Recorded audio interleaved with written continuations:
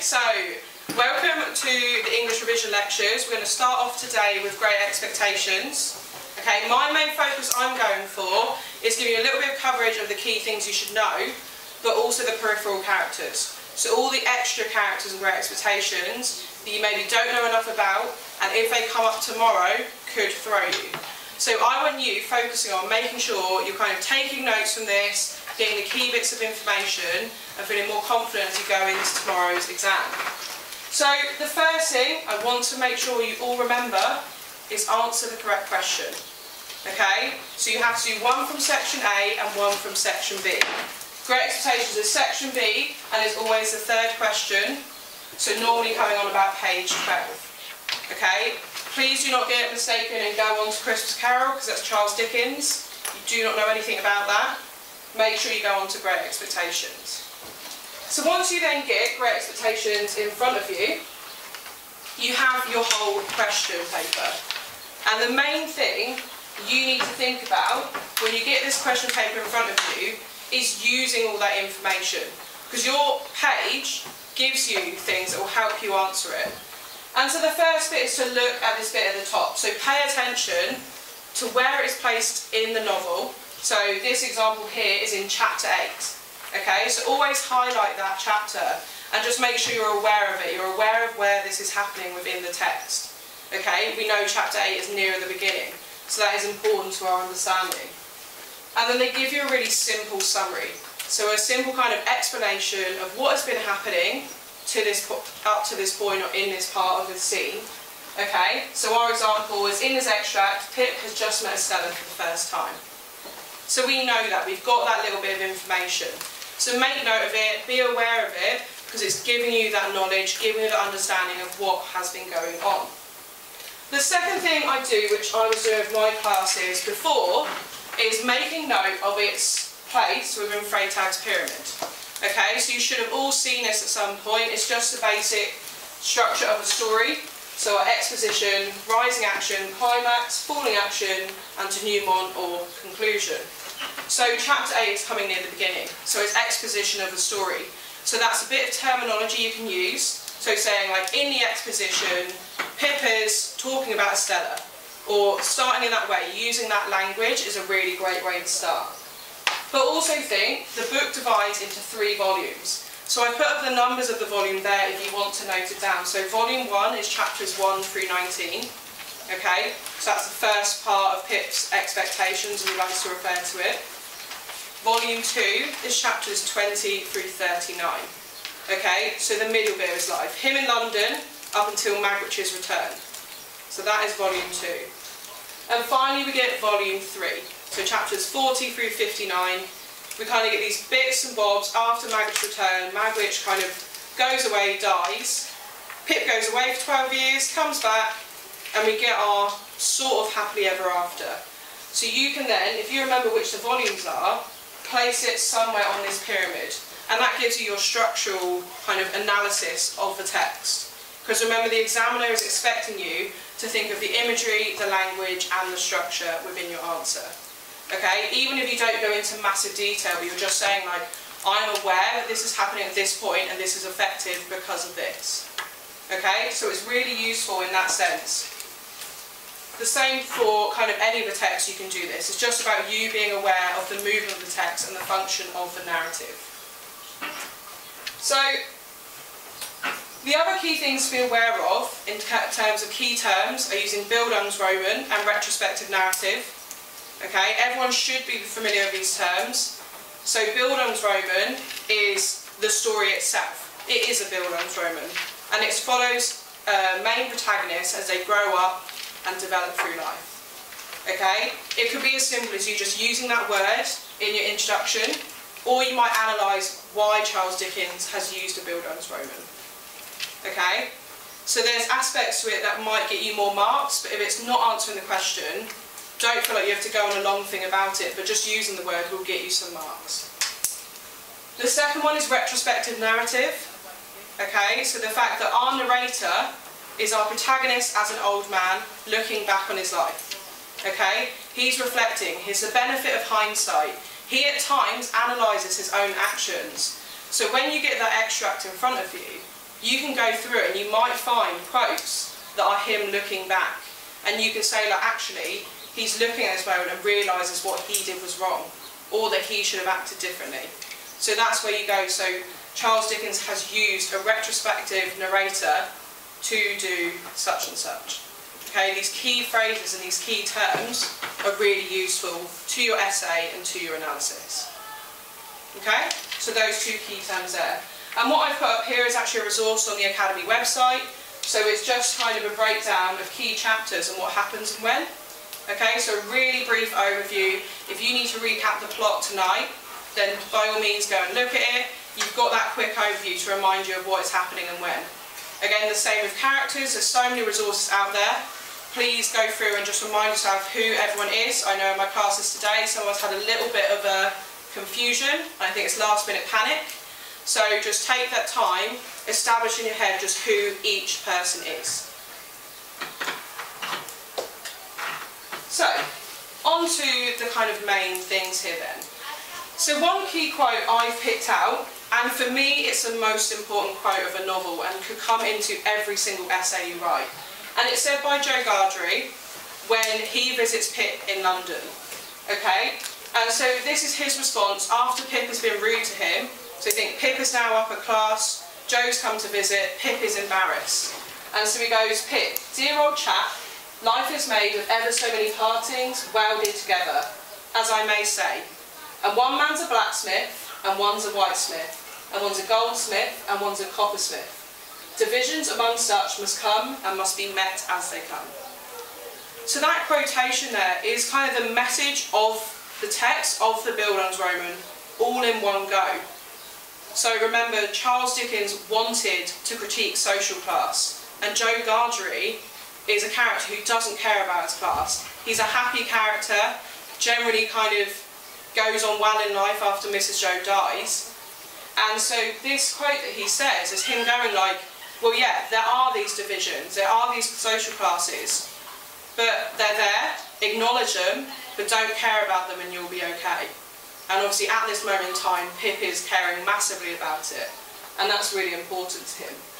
So that quote, even if you don't quote it exactly right, if you say that he says about one's a coppersmith, one's a whitesmith, one's a blacksmith, or just along those lines, and say that it's a metaphor for social class in the Victorian times, but also you can say it's representing the message of the whole novel.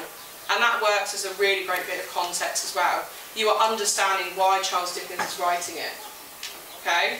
Remember the key thing is the Victorian era for this text, so making sure you're referring to as that.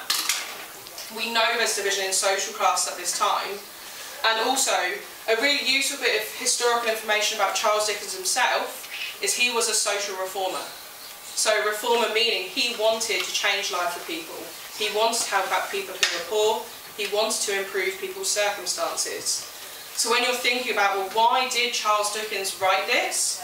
He wrote this because he wants people to realise the issues in society, the kind of divisions and problems about the people caring so much about their class that they let go of reality, they don't realise things. And so we get characters like Miss Havisham who end up in this totally unrealistic character, but it's all because of social class.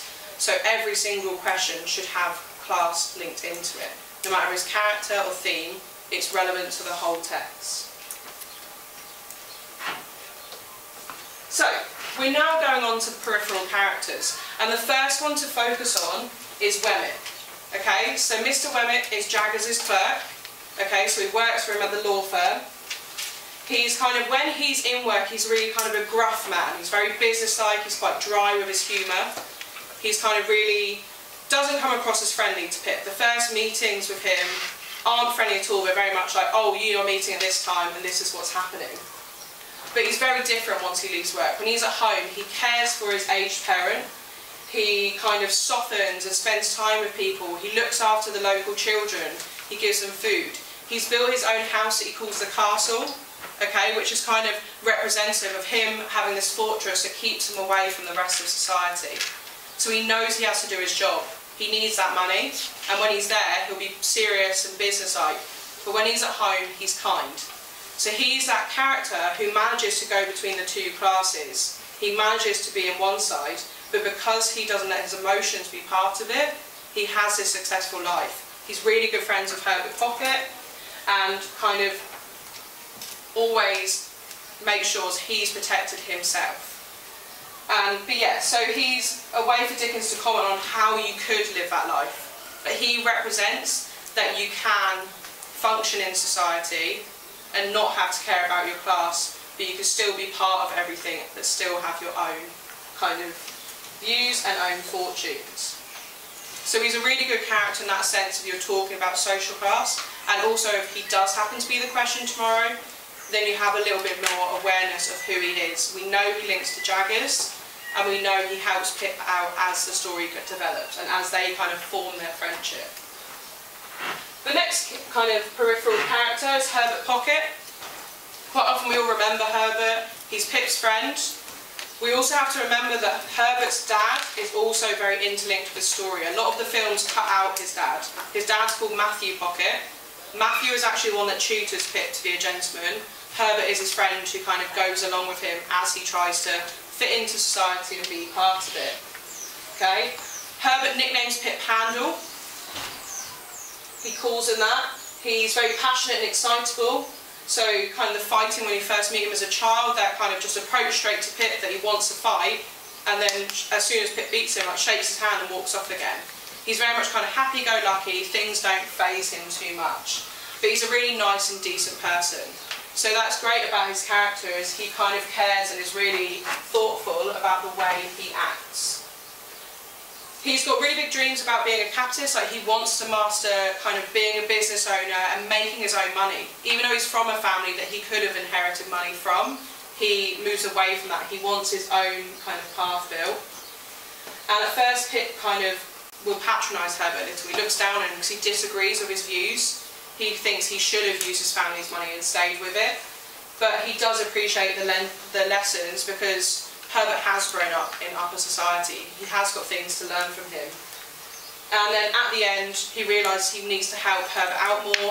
Pip goes to Miss Havisham himself and says, like, can we help them out? Can we give him money? Pip uses the last of his money to help Herbert set up his business.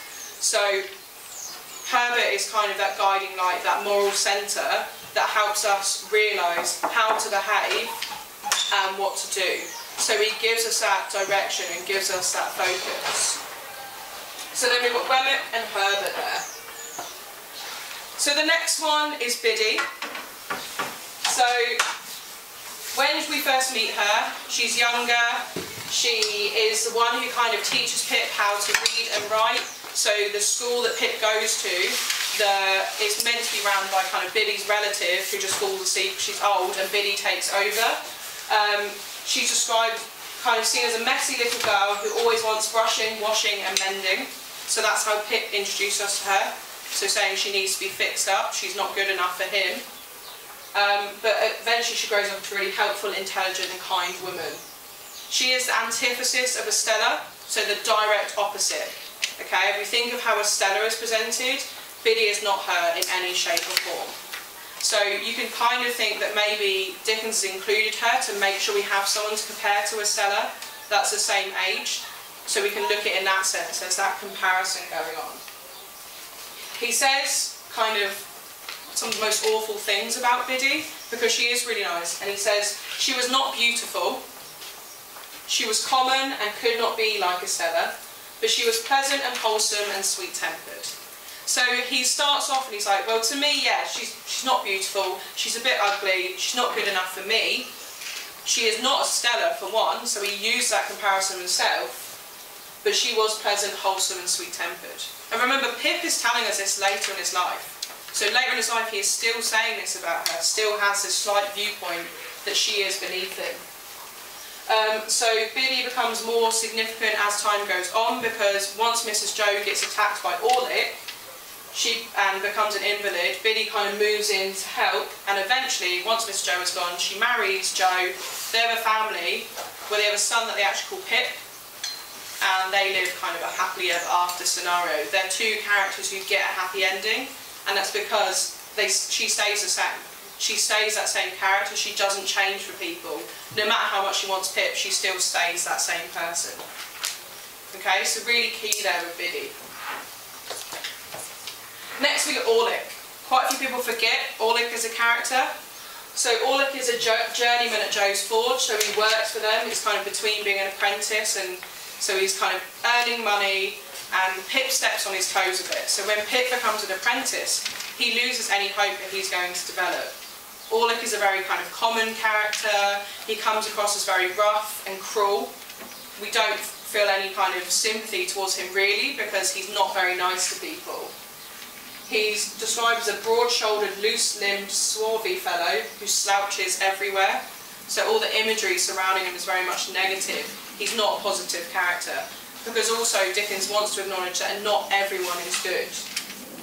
Um, a list of the misdeeds he does, so the things he does wrong. So he threatens Pip when he's younger, attacks Mrs Joe, joins up with Compeyson for some parts, he plans to kill Pip in the sluice house, he comes on to Biddy, he robs and assaults Mr Pumblechook.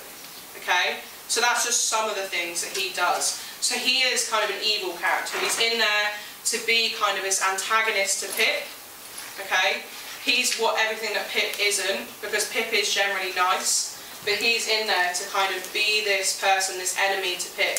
We think Magwitch got Compeyson as an enemy, and then is kind of giving that balance to the story, giving him that person to kind of go up against. So Orlick's really important there. And if you've got a question on him, it's thinking, well, his function as a character there is to go against Pip himself.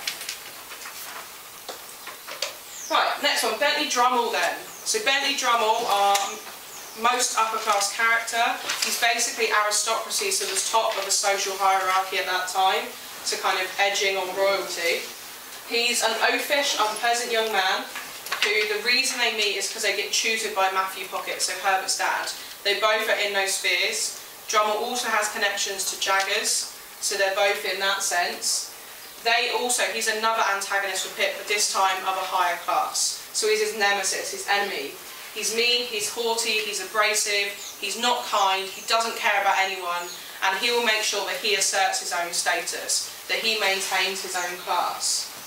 Jaggers actually becomes very interested in Drummle. He likes him, he likes what he can gain from him, but does tell Pip to stay away from him himself. He's not like, oh, he should be your friend. He knows he's dangerous. And we know that Drummle marries Estella, but in the end, Drummle does get his comeuppance, so he mistreats his horse. His horse kicks him in the head, and that is the end of Drummle. Okay, so think Dickens decides to have this horribly cruel character who is upper class, who gets killed Okay, so if you do bad things, or if you're a bad person within the social class, you will get some kind of act kind of done to you by the end of the book. And Dickens has done that on purpose, and we think Drummle gets that, Orlick kind of gets imprisoned towards the end, Miss Havisham dies, so they all get these things coming back to them, and it's a very moral tale in that sense. We then get Compeyson, again, Another one of these bad characters, he left Miss Havisham at the altar. He's the convict we see at the beginning fighting with Magwitch in the mud. Um, so the reason they both got caught is they've been forging signatures. Compeyson got off easy because he was from an upper class and he turned up to the court in a suit. Magwitch did not. Okay, so and it was because of his curly hair and his black clothes and his white pocket handkerchief. So his handkerchief, like the way he dressed presents to everyone that he is better, he is a higher class.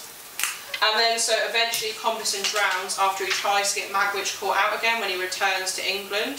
So again, he gets his comeuppance enacted upon him. That's Dickens trying to say, like if you do bad things, you will get a punishment. So then Molly, so Molly just a quick one. So Jaggers is maid, Estella's mother, Okay, she, Jaggers has looked after Molly. He was the one who set up Estella being adopted by Miss Havisham. Molly technically should have gone to prison because she killed Compeyson's wife. So when we get introduced to Molly, she has the scars all over her arms. And that's because she strangled Compeyson's wife to death. Compeyson's wife was slashing her arms with a knife.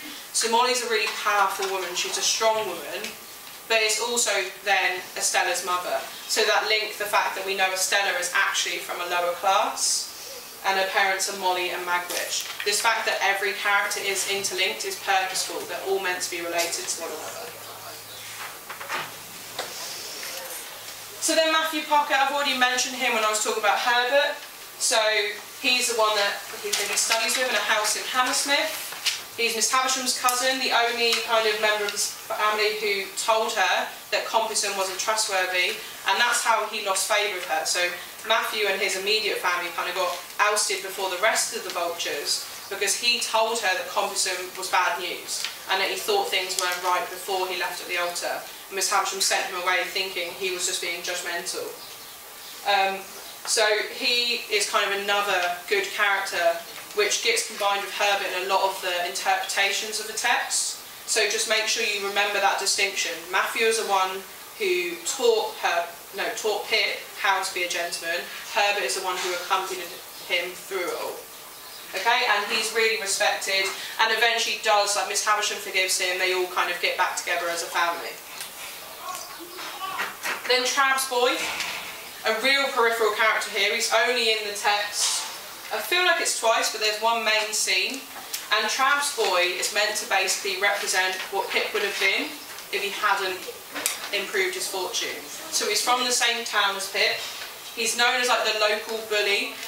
So when Pip goes to get his clothes, when he gets his money to become a gentleman, he goes to Trabb's shop and Trabb's boy is kind of trying to brush over his feet, trying to put him down. But then Trabb, who owns the shop, tells the boy to go away, tells him off for it, that he's mistreating someone of an upper class. So, and if, yeah, if the convict had never been met, if Magwitch had never happened, this would have been Pip's life, he would have just been a blacksmith. He, basically, Trabb's boy represents what Pip should have stayed as. Even though he's not a nice character, he should have been in that situation. He represents that difference. We get Mr Pumblechook and Mr Wopsle, so they're kind of the ones who are around at the beginning of the book with Mrs Joe. So Mr Pumblechook isn't a very likeable man. He claims that he's the one responsible for Pip's kind of fortune and development. He says that he's like the one that gave him his first opportunity. So he takes a lot of claim there. But before anything like this happens, he's rude to Pip, he judges him. Him and Mrs Joe are kind of like these two bullies in the household. We then also get Mr Wopsle, who's the local village clerk. So he's kind of just this normal man from Pip's life that comes up again later on. Because Mr Wopsle decides to become an actor. And there's a whole scene, a whole chapter where Pip goes and watches his performance, what I think is Hamlet. It's a very confusing scene. But he's there for a bit of comic relief. He's a character who's trying to add a kind of softer side and easier side to the story. So then, finally then, we've gone through those characters, those things you need to know, and now there's just some key themes to cover. We know social class is really important, and that links into them. We have our theme of ambition or self-improvement. Okay, so think Pip develops his Bildungsroman, he goes through all these experiences, he kind of improves as he goes on. And so we get this moral theme to great expectations. Basically, affection, loyalty and conscience are more important than social advancement, wealth and class. Okay, so idea like ambition shouldn't be interrupting with who you are morally as a person.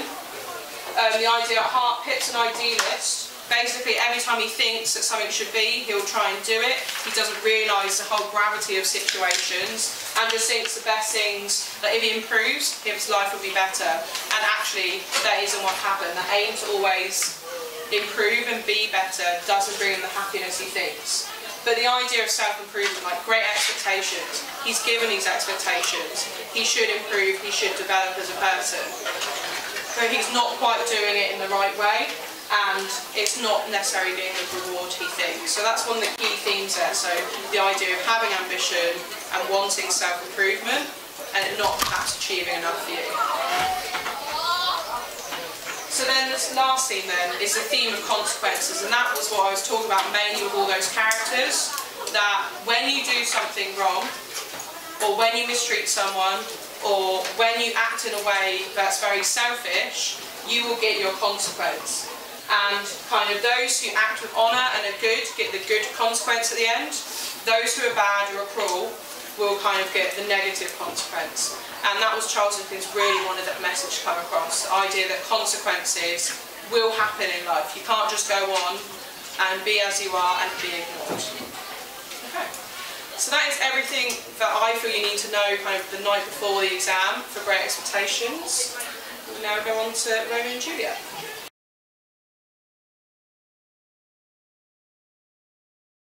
Right, so Romeo and Juliet. In my lecture, I'm going to cover the main themes and the main quotations and the, how they both link together. The highest mark responses for Romeo and Juliet will combine both a, a solid knowledge of the quotations and a solid knowledge of the main themes of Romeo and Juliet. And I wanted to understand the main themes, and the main quotation of Romeo and Juliet through one character, Mercutio, um, and who I think is a really important character then in the play. So to start off with, with our AO3 context, Shakespeare did not write the story of Romeo and Juliet. It comes from another English uh, poet who translates an Italian story into the tragical history of Romeus and Juliet in 1562. And Shakespeare makes a couple of really important changes to the story, uh, to Brooke's story. First of all, it goes from a nine-month story, which is the timeline of Arthur Brooke's story, to the five-day version of Shakespeare's. And also the minor character in Brooke's story, Mercutio's, of Mercutio, is like developed hugely into a far more important character. Um, and the way I want to think of how important Mercutio is, is thinking the main themes before his death and then we'll talk about the main themes after his death. So if we look at the sort of two key acts before Mercutio's death, Act 1 and Act 2, I'd like to argue that actually Mercutio is really important, and the events then that sort of lead up to his death sort of show the main the play to be um, a romance primarily. So if we just have a look at these sort of four, five key events, um, we start off with Romeo formally being in love with Rosaline, and then the sort of next important phase of the event is that Romeo and Benvolio encounter the illiterate Capulet servant who has the invitations to the Capulet ball. Romeo there finds out that obviously Rosaline's at the party, so it gives him another motive to be there. At the Capulet ball, Tybalt is held back by Lord Capulet so that, because um, obviously he wants to start a fight with the Montagues who have um, trespassed the party. Because of that, uh, because Tybalt doesn't get involved, Romeo and Juliet can meet, they fall in love, and this then is the final key event before Tybalt comes in with Romeo, and because obviously Romeo is with Juliet at the time, Mercutio steps in and obviously dies. And so the play then, right at the start, is a, primarily a romance. Before Mercutio dies, the play is really romantic, and the theme of love is evident. So I've got three ways that love then is presented right in the first two acts of the play. Love is presented as capricious, and by capricious, I mean a sudden change of mood or behaviour. If we look at these two key quotes on the board, Romeo says of Rosaline, Oh, brawling love, oh, loving hate. Brawling as in fighting, love, loving hate, obviously two examples of oxymorons, and it shows like the conflict of the emotion. Um, his love for Rosaline brings him obviously this sort of clashing feeling of love. It's strong, it's violent, but at the same time, obviously, because he knows he can't be with Rosaline, this is also a feeling of hatred. So it's sort of really strong clashing oxymoron. It's showing that it's capricious. It's, it's sort of this swing between happy and sad. And the sort of most obvious example of Romeo's being, well, Romeo being capricious is when he sees, uh, when he says this when he first sees Juliet, where he states, he says to her, he never saw true beauty till this night. So literally, like two scenes ago, he was talking about how beautifully thought Rosaline was, and it's taken a matter of an afternoon for him to change his mind and suddenly think, oh, actually, I have never seen someone as beautiful as Juliet until this evening. So we're seeing then how love is sort of topsy-turvy. It's um, a real big clash of emotions. Love is also seen as immature in Romeo and Juliet. So um, Juliet says to Romeo, deny thy father and refuse thy name. And what she means there is she's talking about, of course, to ignore the family feud and we can be in love anyway. And obviously this is a really immature view. It's this sort of idea that regardless of these years and years of, of, of feuding or violence, we can just ignore this and we can be together anyway. Yeah, refuse thy name, ignore the fact that you're a Montague, reject your father, reject the Montagues. And it shows then that Juliet is initially immature, and obviously Romeo is another really immature character, um, as he sort of ignores all these boundaries of love in order to be with Juliet. The romance then continues. Um, because ultimately, even though it's capricious, even though it's immature, ultimately in Acts 1 and 2, love is presented as optimistic. You could argue that obviously they should be a bit more mature, they should consider the family con uh, conflict. But what allows them to overcome the family conflict ultimately is their optimism. And the fact that their, their sort of love transgresses, it breaks all of the social boundaries in which they are tied down to. So Romeo says, you know, let lips do what hands do in his sort of uh, sonnet when he's speaking to Juliet. And this sort of transgression then is not only just of the families but also of religion. Here is some version of the religious imagery where he takes something like praying and turns it into um, the act of kissing. And obviously this is subversive, it's going against what the church would have thought, what the church would have believed. And this sort of optimism, this fighting against society, is also represented through another religious figure, the Friar Lawrence. And religion then, another important theme in Romeo and Juliet, is shown to be uh, sort of subverted. It's shown to be something that's played around with and got and sort of fought against. Because Friar Lawrence, even though as a, as a religious man, he's supposed to uphold societal values, he's to uphold the structures of society. But actually, he realises that the structure of society, with Montagues fighting the Capulets, isn't healthy. It's not good for society.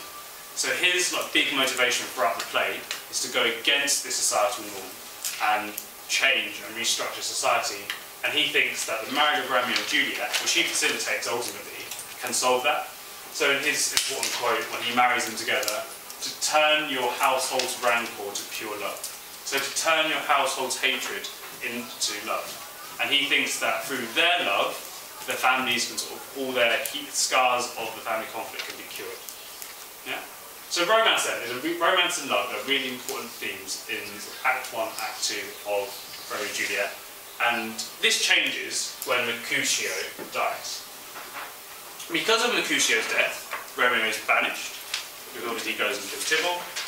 Because Romeo is banished, Juliet is forced to marry Paris, um, obviously, she's really angry at her dad. Uh, um, Paris is suggested as um, a suitable shooter, and because of all these emotions, because her cousin's died, because Romeo is banished, and because she's forced to marry her cousin, uh, married Paris, sorry, uh, Juliet then attempts to commit suicide. Um, because she attempts to commit suicide, Friar Lawrence has to come up with a plan, desperately to try and solve the situation. Uh, that plan fails, and because of this failure his plan, Romeo and Juliet dies. So after Mercutio's death in Act 3, 4 and 5, the theme of love disappears and the play firmly becomes a tragedy. Um, and because of tragedy, the theme of conflict here from Act 3, 4 and 5 becomes more and more evident. There's three main types of conflict, of course. There's the family conflict. We've got the sort of conflict between the two families. But this conflict between the two families, as the play develops, sort of turns inwards and it becomes a conflict within families. Lord Capulet says to his daughter, disobedient wretch, get thee to church on Thursday, which obviously means he's telling her off, saying her to go to church and get married anyway. Um, and we can see sort of aggressive tone, the use of the exclamation mark, and this also marks obviously a change in his relationship with Juliet. Previously, in the romantic part of the story, it was really good, it was really idyllic, but now, in Act 3, that turns around and it becomes um, obviously a lot more aggressive and he's a lot more angry. It's important to see this quote from two sides, obviously. He is on one side being a bully and horrible to his daughter. We must also consider the context of the time of the patriarchal society, the male-dominated society, where it would have been okay for, um, for fathers, obviously fathers were in charge of the household, so in some ways at the time, a contemporary reader, contemporary audience, sorry, would have seen that as um, acceptable, because it's the father just disciplining his daughter. There's also then emotional and mental conflict. Um, the most obvious example is the attempt to commit suicide.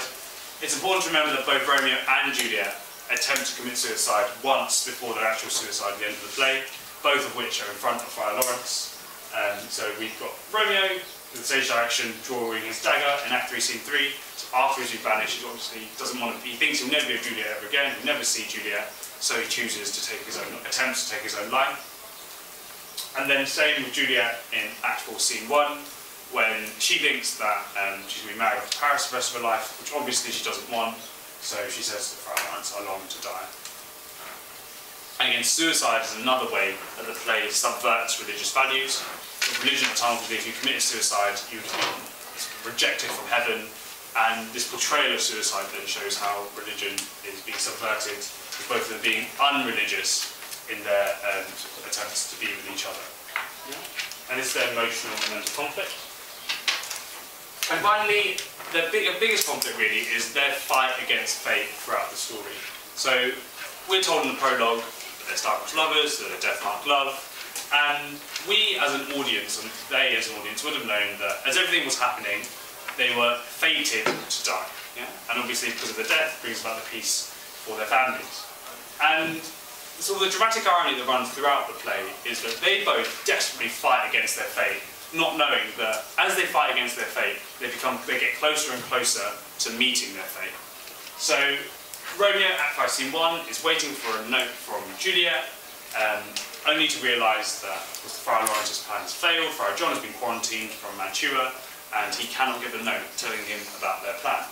So Romeo then, in the quote, I defy you stars, thinks that he's going against his fate, which he thinks is not to be with Juliet, but in doing so, in going against his fate, he ends up living out the actual fate, which is for him to die with Juliet. Yeah? So obviously the fight against fate um, is ultimately shown as being in vain and unsuccessful. And then the themes of love and conflict are the point I want to make with these two. Even though one love is obviously in Act One and Act Two, conflict is in Act Three, Four, and Five.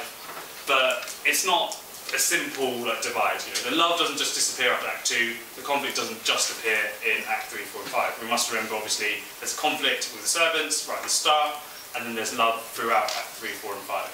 And the reason that I divided them is to also show that they're inextricably bound together. Love and conflict, love and death in Romeo and Juliet go hand in hand. Because um, with their love, they, uh, their love is ultimately marked by death. They have to die because they're in love. But at the same time, if they don't die, then their family's feud can never be solved. So in the play, um, Shakespeare combines love and sort of death, love and conflict together because out of this, like their fiery love, comes the peace of that their families desperately need. They ultimately cannot avoid their fate, which obviously is another big theme in Romeo and Juliet. Um, and really, fate is the overarching theme that sort of combines love and death, love and conflict together. And then we've got two more one quotes for that then. Violent delights have violent ends. Friar Lawrence sort of says, foreshadows in his wedding speech to Romeo and Juliet that um, because of their violent the way they came together so quickly as a couple, um, it will obviously end badly as well. Violent here takes on two different meanings. So violent end as in their death being a violent end, but also a violent delight as in sort of the clash of their love uh, to be together. And finally, the, sort of, the key quote really for the prologue, star-crossed lovers, really has three meanings I've got up on the board. Star-crossed is they're meant to be together, Star-crossed again is they'll sort of be together in the stars, so the idea that they can't be together on Earth, but they have to be together in heaven. And as a Shakespearean audience, they would have realised that um, stars were an obvious symbol at the time, and it's sort of the chaos of the stars as they're being mixed up together, the sort of chaos of violence being shown here. Yeah. Um, and just to link it back then to what Miss um, Matthew was saying earlier. We can also map Romeo and Juliet onto Freytag Pyramid. And quite nicely, because of the five acts of Romeo and Juliet, it maps nicely onto the five points. And so you've got your exposition in Act 1, setting the scene, there's a conflict, uh, they're, falling, they're, falling, in love. The rising action, of course, is their marriage, and, they, and their wedding is arguably just before the climax. And then the climax, as I've said, is sort of Mercutio dying, because after that, everything goes badly, um, plans come together, fails, they all meet in the tomb and they all die. Um, you can map it onto that, and finally, yeah, just a final exam tips then for Romeo and Juliet, moving on to sort of technical stuff. With AO1, remember references count. So even if you can't remember those specific quotations, you can just say in Act 1 when Romeo is in love with Rosaline. That's absolutely fine. You can talk about that and that counts as AO1. Um, slight mistakes in your quotations are not marked down, so you're better off having an attempt at the quotation, trying to remember a part of that quotation, than not using the quotation at all. Yeah? Remember to make your quotation as short as possible um, and just have the keywords, sort of key two, three words in that. For assessment objective two, don't forget the subject terminology isn't just adjective, isn't just like personification, alliteration. The word protagonist, playwright, characterization, imagery, all of that counts as a, as your assessment objective two. You should all be able to use the word protagonist in your essays. Just saying the protagonist Romeo, the protagonist Juliet, the playwright Shakespeare, the characterization of um, Juliet, whoever, that should all be easy. Analyse the extract for AO2. If you can't remember any quotation at all for whatever reason, then just analyse the extract there in front of you. And don't forget for AO3, the demonstrated knowledge of the rest of the text also counts as context. So knowing that whatever happens in Act 1, whatever happens in Act 2, if the um, extra about Act 3 also is fine. Um, and finally, just remember you get four marks at AO4, so read your essay and make sure your grammar, your grammar and spelling is okay. Any questions to wrap up? Otherwise,